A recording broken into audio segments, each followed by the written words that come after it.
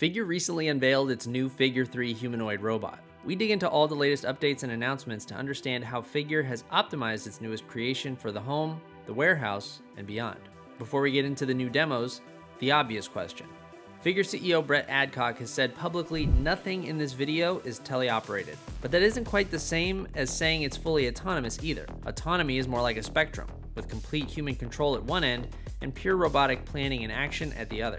There are other ways a human can supervise or otherwise intervene beyond just teleoperation. As I've said in other videos, if a robot is doing something fully autonomously, it's usually labeled as such. And going forward, I would like to see all robotics companies clearly labeling their footage so we know exactly what was done and how. Much of the new Figure 3 demos take place in Figure's home testing facility in Northern California. The robot begins by stepping off what appears to be a charging stand. There's a detail shot showing a bend in the robot's foot which is something that the Figure 2 didn't have.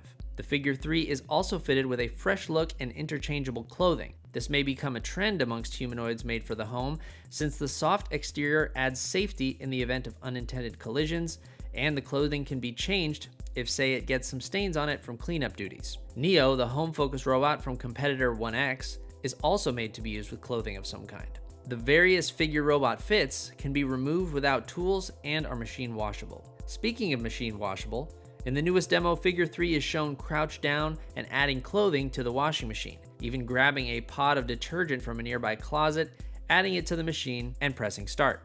Figure 3 includes new cameras in the robot's palms to allow it to grab things that are out of sight from its main cameras mounted on its head. While the demo is the most complete demo of a robot doing laundry I've ever seen, I gotta say that is one tiny load of laundry. Show me the robot schlepping a laundry bag that's overflowing or bursting at the seams, then I'll be impressed. Figure 3 is also shown cleaning some dishes and putting them in the dishwasher. From the sounds included in the video, I'd guess these dishes are made of plastic. Plastic dishes are probably lighter and more durable for testing purposes, but again, I'd like to see the robot tackle a sink full of dirty dishes made of glass and ceramic. Realistic challenges beat polished demo videos in my book any day.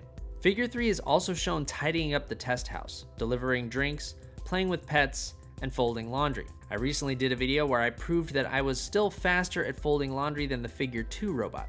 So if anybody at Figure wants to put its new Figure 3 robot to the test against a real folding champion, my DMs are open. Hit me up anytime.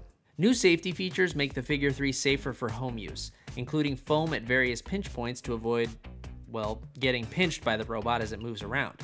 A reduction in size and weight from its predecessor, Figure 2, also allows it to have an easier time getting around.